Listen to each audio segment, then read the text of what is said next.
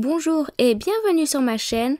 Hello and welcome to my channel. I'm Cindy. In this lesson, you learn how to talk about the recent past in French.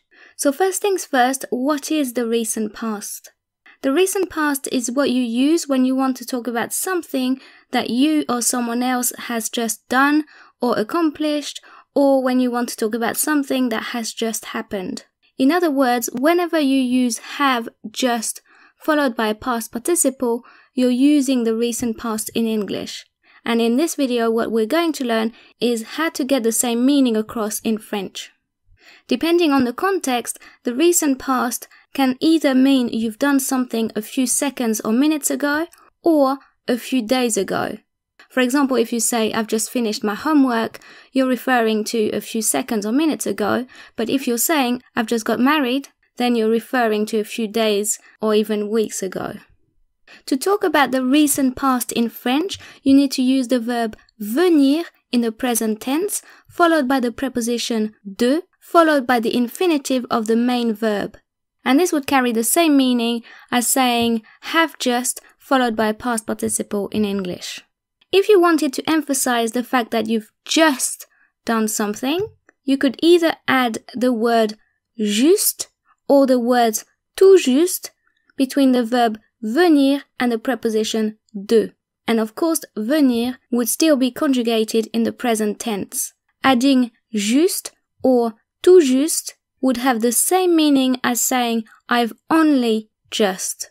So to talk about the recent past in French, you can either use venir de, venir juste de, or venir tout juste de, with venir conjugated in the present tense and the structure followed by the main verb in the infinitive, like so. Je viens de, repeat, je viens de, I have just, tu viens de, tu viens de, you have just, il vient de, il vient de, elle vient de, elle vient de, on vient de, repeat, on vient de, nous venons de, nous venons de, vous venez de, vous venez de, you have just, ils viennent de, ils viennent de, elles viennent de, again, elles viennent de, they have just. It's important that you're aware that the structure venir in the present tense followed by de only means have just if it's followed by a verb in the infinitive. Because as you probably already know, if it's followed by a noun such as a country, for example, then it means to come from and not to have just. So let's have a look at a few examples. If you wanted to say, they've just got married, how would you say that in French? I'll give you five seconds. They've just got married.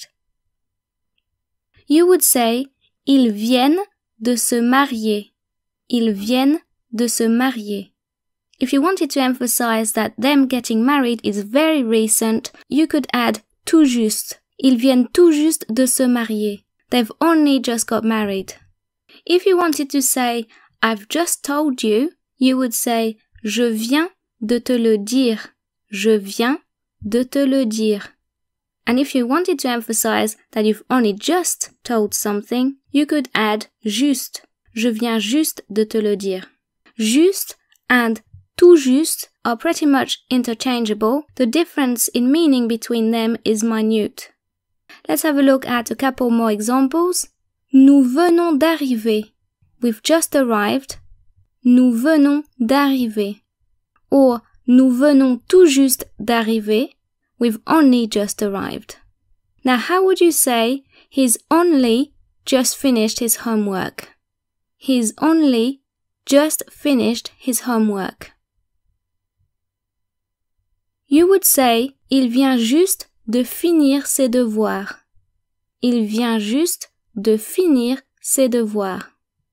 Of course, if you said tout juste instead of juste, it would also work. It's also worth noting that you can use the recent past structure in the past if you want to say had just followed by past participle. If you want to say had just followed by a past participle, in French you will need to use the verb venir in the imperfect tense followed by the preposition de and then followed by the infinitive of the main verb. For example, je venais de m'endormir quand mon réveil a sonné. Je venais de m'endormir quand mon réveil a sonné. I had just fallen asleep when my alarm went off. I hope you found this lesson useful. If you did, please give it a thumbs up and share it. And if you still have any questions, please don't hesitate to ask in the comments. That's what the comments are for. If you're new to my channel, I'd love to have you subscribe. I upload new videos regularly. And if you'd like to follow me on social media, all the links are in the description. Thanks for watching. Bye.